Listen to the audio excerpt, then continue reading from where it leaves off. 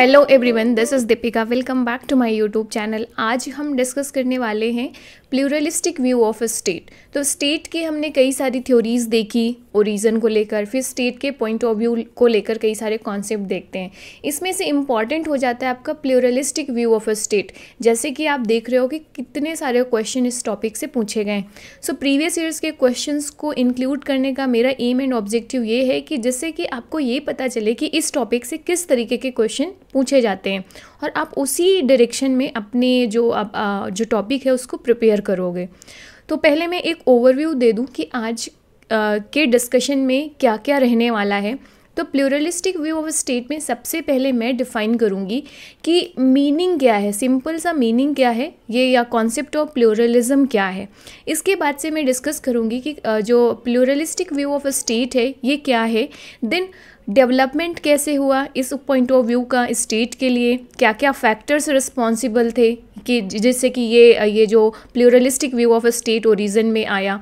Then last में हम discuss करेंगे मॉडल्स कि जो जैसे ब्रोकर मॉडल हो गया तो न्यूट्रल स्टेट मॉडल हो गया। तो प्लूरलिस्टिक स्टेट के तीन इंपॉर्टेंट मॉडल हैं, उन्हें डिस्कस करेंगे और लास्ट में क्रिटिकली इवालुएट करेंगे कि pluralistic point of view of the state में जो किस तरीके के क्रिटिसिज्म किस तरीके के लिमिटेशंस को हाईलाइट किए गए हैं।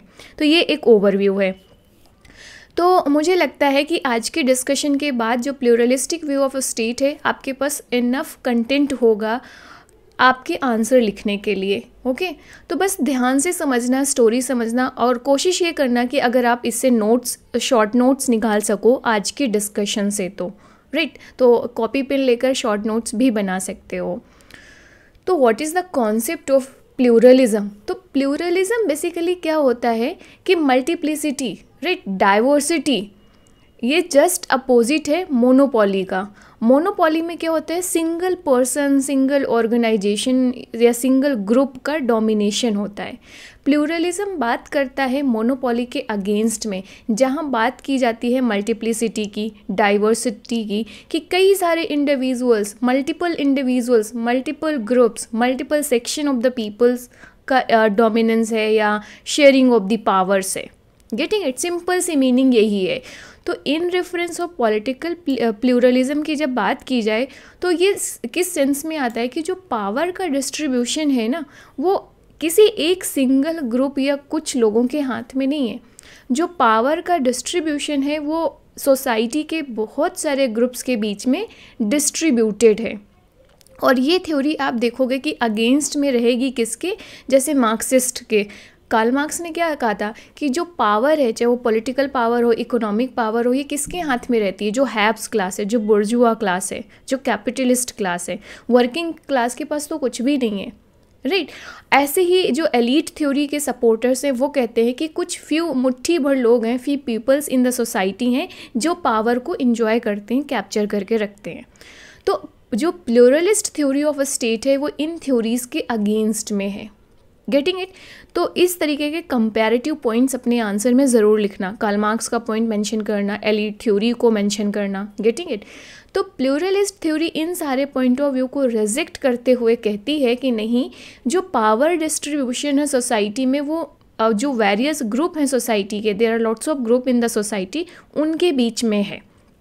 राइट? सिंपल सा मीनिंग हो गई है तो प्लूरलिज्म क्या हो गया? जो सोसाइटी या स्टेट है, ये बैलेंस्ड रिप्रेजेंटेशन करती है interest of the various groups interest of the various organisations ऐसा नहीं है कि पर्टिकुलर क्लास का ही सिर्फ़ इंटरेस्ट रिप्रेजेंट करता है स्टेट जैसे कि कार्ल मार्क्स ने क्या कहा था कि जो स्टेट है, ये क्या है? This is the committee of bourgeois class okay तो इसके अगेंस्ट में प्लूरलिस्टिक थ्योरी बात करती है।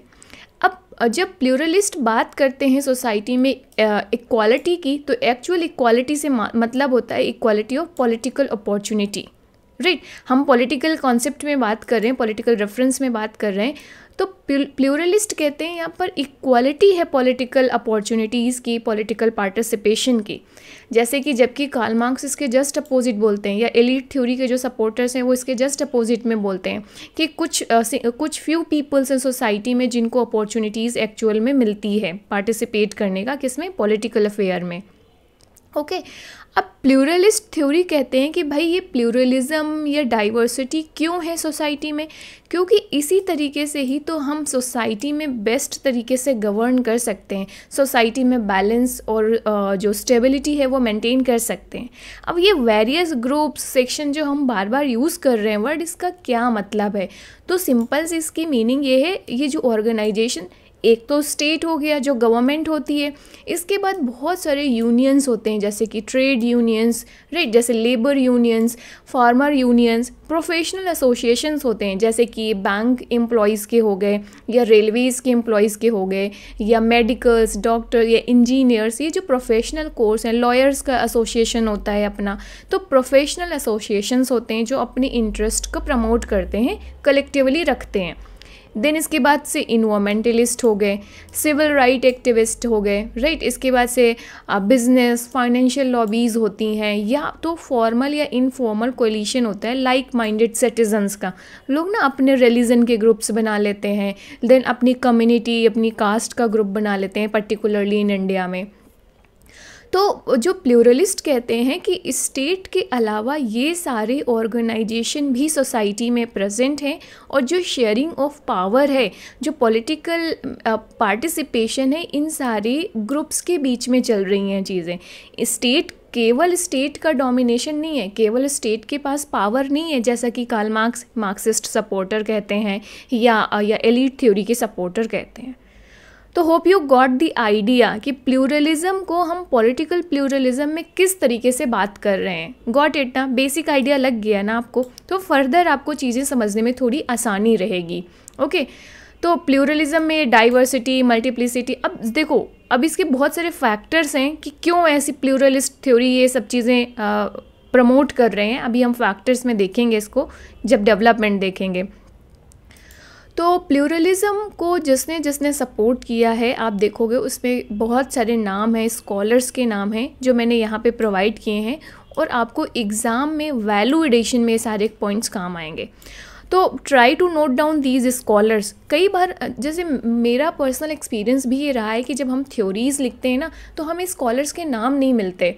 कि हम ये नाम का, अब इतनी भी स्टैंडर्ड बुक तो हम पढ़ते नहीं स्टूडेंट लाइफ में तो प्रॉब्लम आती है कि यार इस थ्योरी के जो एक्सपोनेंट्स हैं, उनके, वो वेरियस स्कॉलर्स के नाम क्या हैं तो यहाँ पर मैंने कोशिश की आपको ये प्रोवाइड करने की ताकि आप अपने आंसर में इन्हें लिख सको और वैल्यू एडिशन कर सको एक्स्ट्रा मार्क्स के लिए गेटिंग इट तो ये सारे पॉइंट्स को नोट डाउन कर लो, ये स्कॉलर्स के नाम ओके okay? फिर आप चार पाँच वीडियोस खोजोगे, फिर उसमें से निकालोगे तो इट्स बेटर ना कि आपको एक ही जगह सारी चीज़ें मिल जाएँ ओके तो ये ये जो स्कॉलर्स हैं, जैसे कि फ्रेडोरिक मैटलैंड हो गया राइट जी हॉप्सन हो गया लास्की हो गए आपके टॉने हो गए राइट तो ये सारे, या कोले हो गए तो ये सारे जो स्कॉलर्स हैं, ये क्या कहते हैं कि सोसाइटी में या सोशल कॉन्टेक्स्ट पे क्या है ना इंडिविजुअल के इंटरेस्ट को इंटीग्रेट किया गया है। जैसे कि कार्ल मार्क्स ने एक पॉइंट क्या किया था कि जो सोसाइटी है, जो कैपिटलिस्ट सोसाइटी है ना, उसमें एलिनेशन होता है इंडिविजुअल्स का, जो वर्किंग क्लास है। क्योंकि वो पॉलिटिकल अफेयर में पार्टिसिपेट नहीं कर रहे हैं, वो फैक्ट्रीज़ में लेबर के रूप में बस काम कर रहे हैं और जो वो प्रोडक्ट बना रहे हैं, वो भी उनका फ्रीडम या उनकी चॉइस के अकॉर्डिंग नहीं है। वो आउट ऑफ़ कंपल्शन उनको बनाना पड़ रहा है। Right right? तो इस तरीके से ये जो थिंकर्स हैं स्कॉलर्स हैं, वो कहते हैं कि कैपिटलिस्ट सोसाइटी में इंडिविजुअल्स को ऐसा नहीं है कि एलिनेट कर दिया जाता है आइसोलेट किया जाता है। उनकी जो नीड है, जो जो उनके इंटरेस्ट हैं, उसको शामिल किया जाता है इंटीग्रेट किया जाता है। गेटिंग इट फिर प्लूरलिस्ट फर्दर कहते हैं कि जो मॉडर्न इंडस्ट्रियल सोसाइटी है जिसकी, जिसके निगेटिव एस्पेक्ट को कार्ल मार्क्स ने हाईलाइट किया था कि इंडस्ट्रियल सोसाइटी होने की वजह से सोसाइटी में क्लास डिवीज़न है। दो क्लासेज हैं haves class haves not class इसी तरीके से एलिट थ्योरी भी क्लास में पावर को लेकर क्लासेस का डिवीज़न हो गया। तो जो जो प्लूरलिस्ट हैं, ये कहते हैं कि इंडस्ट्रियल सोसाइटी के जो निगेटिव एस्पेक्ट है ना, उनको रिजॉल्व किया जा सकता है या इन निगेटिव एस्पेक्ट को अबॉलिश किया जाता किया जा सकता है, किसके किसके through the process of decentralisation तो प्लूरलिस्ट थ्योरी सपोर्ट करते हैं उस स्टेट को जिसकी पावर डिसेंट्रलाइज्ड है। डिसेंट्रलाइज्ड कैसे हैं? सोसाइटी में वेरियस ग्रुप्स हैं जो ऑलरेडी हमने कुछ देखे, नाम यहाँ पर, और जो पावर है राइट right, वो उन ग्रुप्स के बीच में डिस्ट्रीब्यूटेड है फ्रेगमेंटेड है डिसेंट्रलाइज्ड है।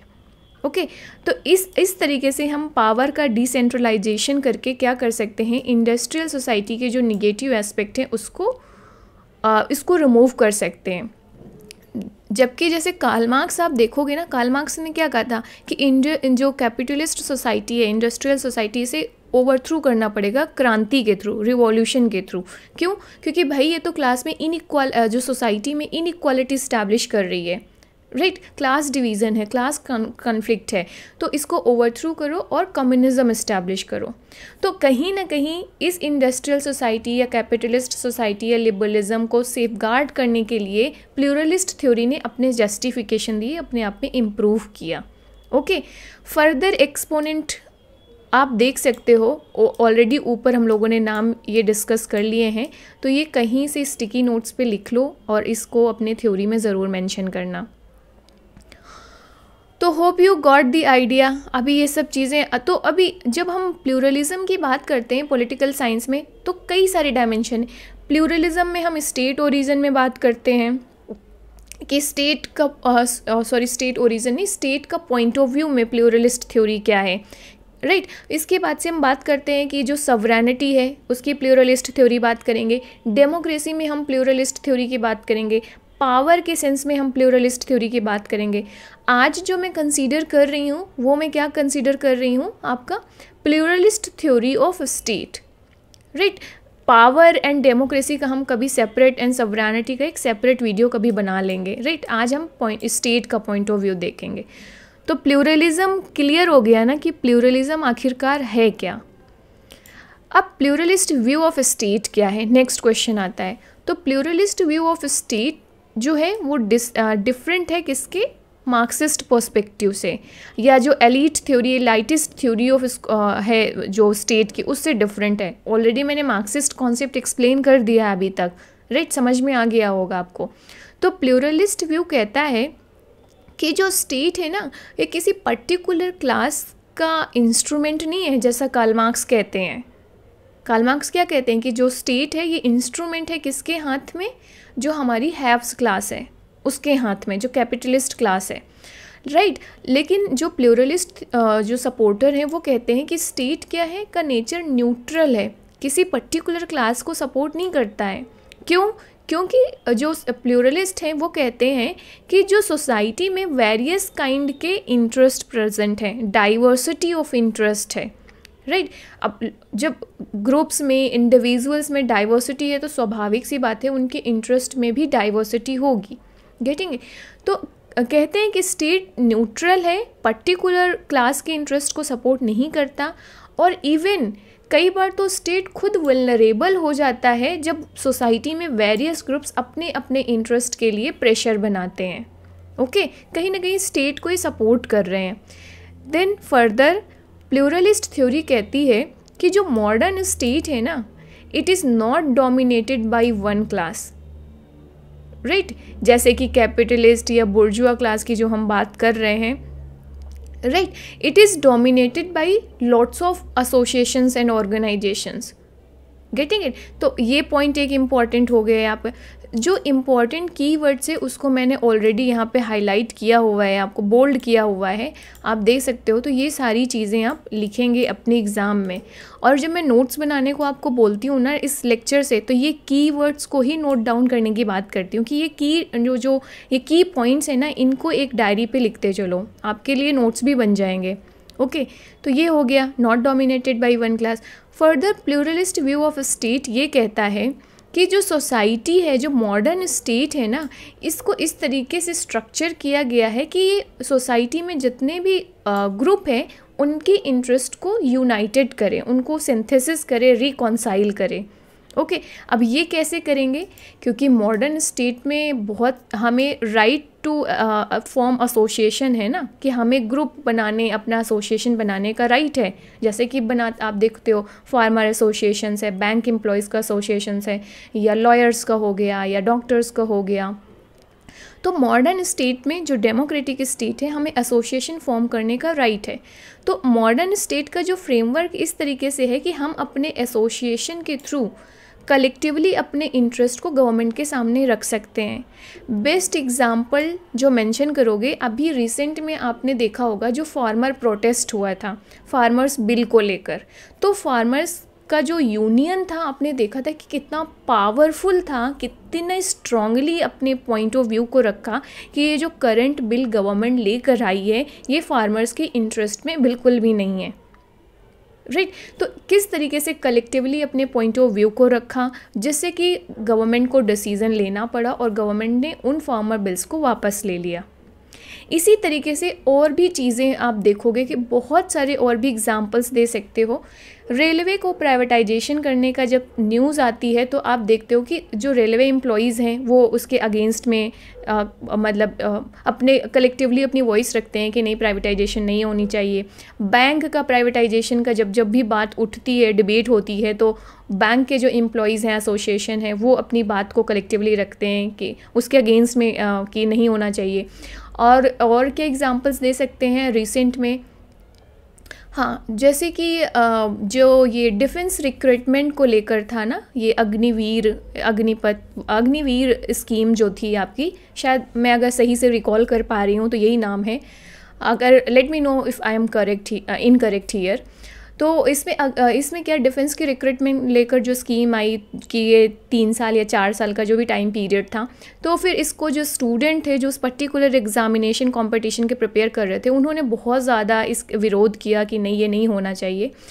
तो ये एग्ज़ाम्पल्स में आप आ, मैं आपको इसलिए दे रही हूँ कि एक आइडिया लगे कि किस तरीके से मॉडर्न स्टेट में जो इंटरेस्ट ऑफ़ द सोसाइटी हैं वो वेरियस ग्रुप और एसोसिएशन के थ्रू रखे जाते हैं। तो जो प्लूरलिस्ट कहते हैं ना, कि जो स्टेट में कोई पर्टिकुलर क्लास नहीं डोमिनेट कर रही है और ना ही स्टेट अपने तरीके से काम कर रहा है, जो सोसाइटी में वेरियस ग्रुप्स एंड एसोसिएशंस हैं, वो डायरेक्शन दिखाते हैं स्टेट को। गेटिंग इट तो ये एग्ज़ाम्पल्स आप इनकी लिस्ट बना लेना, मैं हमेशा कहती हूँ कि हर एक टॉपिक के लिए आपके पास एग्ज़ाम्पल की लिस्ट होनी चाहिए और स्कॉलर्स की लिस्ट होनी चाहिए।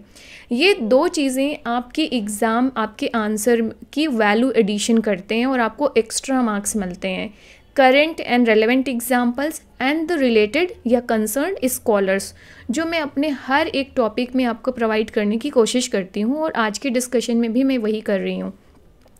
और एक्स्ट्रा एग्जांपल्स अगर आप, आपको याद आ रहे हों तो आप मुझे कमेंट में ज़रूर करना, जिससे कि दूसरे स्टूडेंट को भी पता चले इवन मेरा भी नॉलेज बेस इंक्रीज़ होगा इस आपके एग्जांपल से, कि हाँ ये भी एग्जांपल हो सकता है। Getting it then power is not concentrated in the hand of single group और ये फ्रेगमेंटेड है वेरियस ग्रुप को। इसका आइडिया अब लग गया होगा।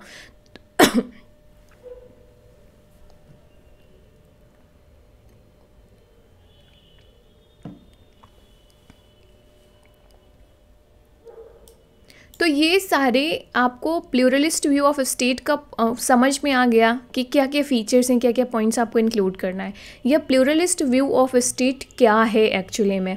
और वो एग्जाम्पल्स एंड स्कॉलर्स क्या हैं, ये भी पता चल गया होगा। देन फर्दर कुछ और पॉइंट डिस्कस कर लेते हैं, जो हम अपने एग्ज़ाम में मेंशन कर सकते हैं कि जो प्लूरलिज्म है basically this was the protest against the monistic theory of sovereignty इसे हम डिटेल में डिस्कस करेंगे एक सेपरेट वीडियो में।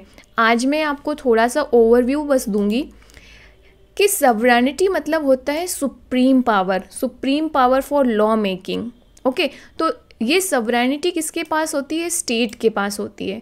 तो जो जो जो मोनिस्टिक थ्योरी के सपोर्टर हैं, वो कहते हैं कि सिर्फ़ स्टेट के पास ये सवरानिटी है। जबकि जो प्लूरलिस्ट जो प्लूरलिस्ट थ्योरी ऑफ़ सवरानिटी है, उसके सपोर्टर्स कहते हैं कि जो ये सवरानिटी है ना, ये पर्टिकुलर स्टेट में नहीं है।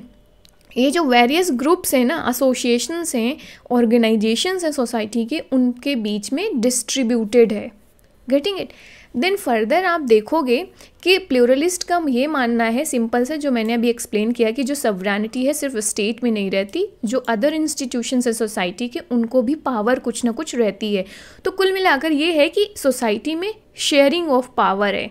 पावर जो है वो, या चाहे वो डिसीज़न मेकिंग को लेकर हो, चाहे वो लॉ मेकिंग पावर हो एक स्टेट में कॉन्सेंट्रेटेड नहीं है। सोसाइटी में जितने भी इंस्टीट्यूशंस हैं, उनके बीच में डिस्ट्रीब्यूटेड है। तो आप इसे डिस्ट्रीब्यूशन ऑफ़ पावर कह सकते हो या डिसेंट्रलाइजेशन ऑफ़ पावर कह सकते हो।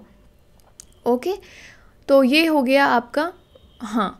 तो अच्छा तो जो ये बात कर रहे थे ना कि जो कैपिटलिस्ट क्लास के एक और एग्जांपल लेते हैं, जिसको कार्ल मार्क्स ने कहा था ना कि कैपिटलिस्ट क्लास का डोमिनेशन है, सारी पावर इसी के पास है। क्योंकि इसके पास जो रिसोर्सेज हैं, उसकी ऑनरशिप है, ये फैक्ट्रीज़ के ऑनर्स हैं। राइट तो कैपिटलिस्ट क्लास का एक स्ट्रॉन्ग पोजीशन मतलब स्ट्रॉन्ग पोजीशन भी नहीं है। कार्ल मार्क्स ने कहा था कि इनकी सिर्फ़ इन्हीं की ही मोनोपोली है। वर्कर्स के पास कुछ नहीं है। तो प्लूरलिस्ट कहते हैं कि कैपिटलिस्ट क्लास में ये पॉसिबल है कि जो कैपिटलिस्ट क्लास है, उसकी स्ट्रॉन्ग पोजीशन हो। बट ये बिल्कुल भी नहीं है कि सिर्फ़ कंप्लीट डोमिनेशन है कैपिटलिस्ट क्लास का।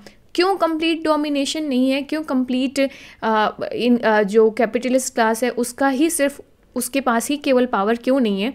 क्योंकि जो वर्किंग क्लास है उसके पास रिसोर्सेज इस तरीके से हैं जो पोटेंशियल पावर है। पोटेंशियल पावर कैसे है वर्किंग क्लास के पास? वर्किंग क्लास जो प्रोलेटरेट हैं वो क्या कर सकते हैं? अपना ग्रुप और एसोसिएशन फॉर्म कर लें। यूनियन जैसे कि लेबर यूनियन ट्रेड यूनियन और उस ट्रेड यूनियन के थ्रू अपनी जो वॉइस है, अपने जो इंटरेस्ट हैं, वो कलेक्टिवली रखें। और इस तरीके से वो भी उस जो पावर शेयरिंग है, उसका पार्ट बन जाएँगे। गेटिंग इट तो प्लूरलिस्ट कहते हैं कि जो मॉडर्न स्टेट हैं, उनका सेटअप और या फ्रेमवर्क बिल्कुल भी इस तरीके से नहीं है कि किसी पर्टिकुलर क्लास या सेक्शन या पर्टिकुलर ऑर्गेनाइजेशन की डोमिनेंस हो।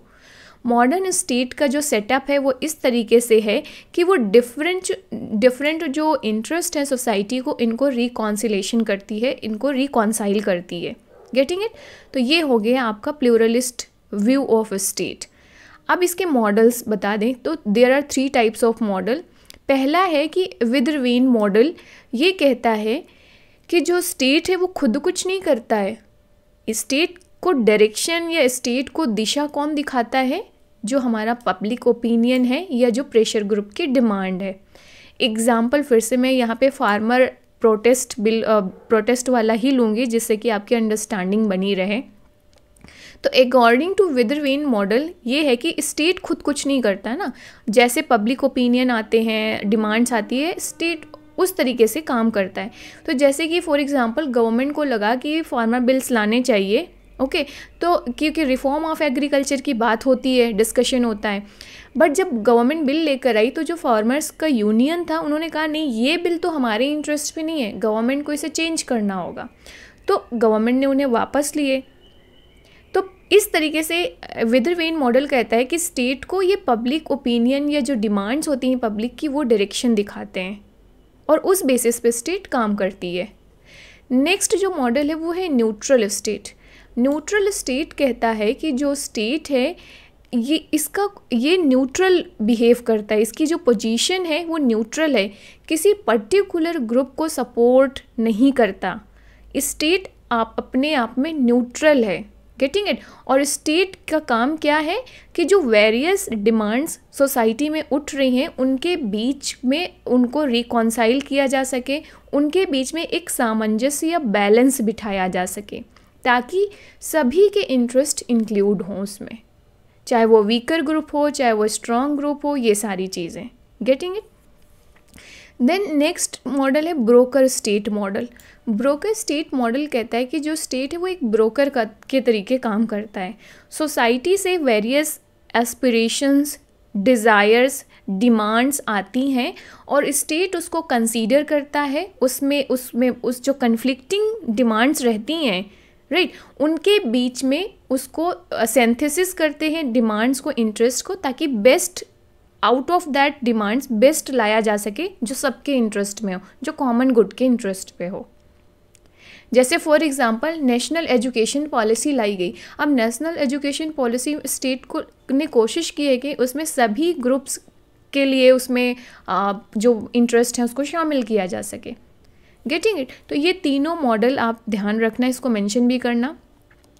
अब डेवलपमेंट कैसे हुआ प्लूरलिस्ट थ्योरी का? तो कुछ स्कॉलर्स हैं जिनसे शुरुआत होती है, जिनके व्यूज़ से। So basically Otto von Gierke हैं, इनकी राइटिंग्स से चीज़ें शुरू होती हैं। ये एक जर्मन ज्योरिस्ट थे।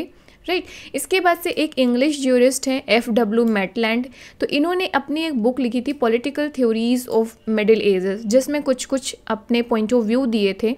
तो प्रोफेसर आर एन गिलक्रिस्ट कहते हैं कि जो प्लूरलिज्म के बीज हैं, ना, वो इनके, इन दोनों के राइटिंग्स में मिलते हैं। राइट ओटो वी गेरके की राइटिंग्स में मिलते हैं और एफ़ डब्ल्यू मेटलैंड ने इसे फर्दर डेवलप किया है। राइट फिर फर्दर चलकर आप देखोगे कि इसका डेवलपमेंट कैसे हुआ। फिर नेशन स्टेट एग्जिस्टेंस में आता है, आप देखोगे तो जो स्टेट है, वो बहुत सारे पब्लिक मोमेंट को फेस करता है रिबेलियन को फेल फेस करता है तो डेमोक्रेसी आती है एग्जिस्टेंस में।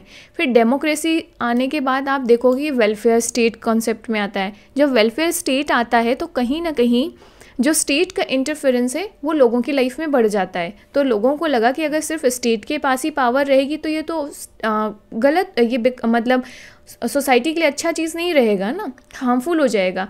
तो लोगों ने बात किया कि नहीं प्लूरलिज्म होना चाहिए। जो स्टेट की पावर है, वो जो सोसाइटी के दूसरे एसोसिएशंस या इंस्टीट्यूशन से उनके बीच में डिस्ट्रीब्यूटेड होनी चाहिए, ना कि सिर्फ़ स्टेट के पास कॉन्सेंट्रेटेड होने चाहिए। ओके फैक्टर्स हमें अब तक समझ लग गया होगा कि क्या कारण थे जिसकी वजह से प्लूरलिस्ट थ्योरी आई। तो कुल मिलाकर जो स्टेट की पावर थी, उसको कम करना था। राइट? right? और धीरे धीरे जब मॉडर्न सोसाइटी डेवलप होती है तो जो वेरियस इंस्टीट्यूशंस हैं, उनके बीच में इंटरडिपेंडेंसी डेवलप होती है। तो स्टेट भी उसमें शामिल है। अब स्टेट अकेले कोई काम नहीं कर सकता, है ना? स्टेट को चाहिए कि वेरियस इंस्टीट्यूशंस होने चाहिए, जिनके हेल्प से काम करे। जैसे कि अभी बहुत सारा स्टेट का काम एन करती हैं राइट right? तो इस तरीके से प्लूरलिज्म धीरे धीरे डेवलप हुआ। क्रिटिसिज्म में देखा जाए क्रिटिकल इवेलुएशन में तो जो क्रिटिक्स हैं प्लूरल थ्योरी के, वो कहते हैं कि स्टेट कभी भी ट्रुथफुल ब्रोकर नहीं हो सकता है। क्यों? क्योंकि स्टेट को अपनी पावर मेंटेन करनी है और स्टेट को एक स्ट्रॉन्ग बैकअप चाहिए तो स्वाभाविक सी बात है स्टेट फेवर करेगा और किसको फेवर करेगा? जो स्ट्रॉन्ग पीपल हैं। जैसे हम प्रेजेंट में अभी गवर्नमेंट को क्रिटिसाइज़ करते हैं, एक अभी जैसे बहुत सारे क्रिटिसिज्म अभी प्रेजेंट में आपको मिल जाते हैं कि जो गवर्नमेंट है कारपोरेट सेक्टर को अभी प्रेजेंट जो रूलिंग गवर्नमेंट है एनडीए गवर्नमेंट जो प्राइम मिनिस्टर मोदी लेड कर रहे हैं तो एक एलिगेशन लगाया जाता है अपोजिशन के द्वारा कि ये कारपोरेट को फेवर करते हैं। तो इस पॉइंट ऑफ़ व्यू से मैं ये एक्सप्लेन करना चाह रही हूँ कि जो क्रिटिक्स हैं वो ये कहते हैं कि स्टेट कभी भी ट्रुथफुल ब्रोकर नहीं हो सकता है। स्टेट हमेशा डोमिनेंस क्लास को सपोर्ट करेगा। कारण है क्योंकि डोमिनेंस क्लास से भी स्टेट को भी बहुत सारे म्यूचुअल बेनिफिट्स हैं। गेटिंग इट तो बहुत सारी चीज़ें हैं, ये हो सकता है। नेक्स्ट है कि जो स्टेट है, वो ही लॉ बनाता है राइट right? कहा जाता है कि state is controlled by law. State भाई अपना कुछ नहीं कर रहा है। जो लॉ है, स्टेट उन्हीं के अकॉर्डिंग चल रहा है। बट क्रिटिक्स कहते हैं कि ये लॉ भी तो स्टेट ही बनाते हैं ना। तो वो अपने फेवर में लॉ बनाएँगे। गेटिंग इट नेक्स्ट और क्रिटिसाइज़ किया जाता है कि अगर इस तरीके से अगर जो सवरानिटी है या जो पावर है डिस्ट्रीब्यूटेड है फ्रेगमेंटेड है among the various associations and groups in the society तो फिर स्टेट तो कंट्रोल ही नहीं कर पाएगी इनमें। तो फिर इस तरीके से तो सोसाइटी में प्रॉब्लम्स खड़ी हो जाएँगी ना। कभी कभी अभी अभी देखते होगे ऐसे इश्यूज़ आते हैं न्यूज़ पे कि जो चैरिटी इंस्टीट्यूशंस हैं ग्रुप हैं या एन हैं वो फ़ॉरेन से फंडेड होते हैं।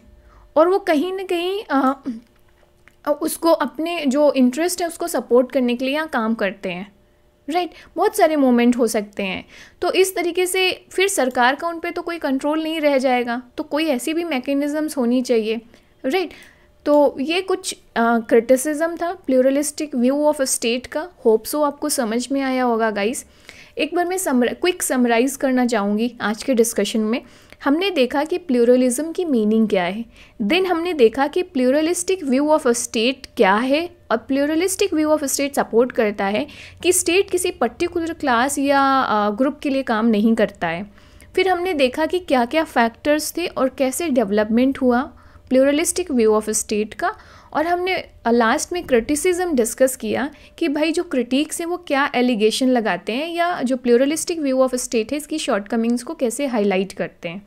मैंने आपको बहुत सारे स्कॉलर्स के नाम दिए, कुछ एग्जाम्पल्स भी दिए हैं मैंने। तो कोशिश ये करिएगा कि इन्हें, इन पॉइंट्स को वैल्यू एडिशन के रूप में आप अपने आंसर में यूज़ करिएगा। बाकी मुझे कमेंट करके बताइए कि आज का लेक्चर आपको कैसा लगा। And thanks for watching see you in the next video पसंद आया हो तो please like share and subscribe guys